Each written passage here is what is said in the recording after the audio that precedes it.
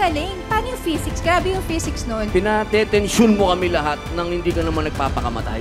Napakahusay ng ginawa niya. Mga.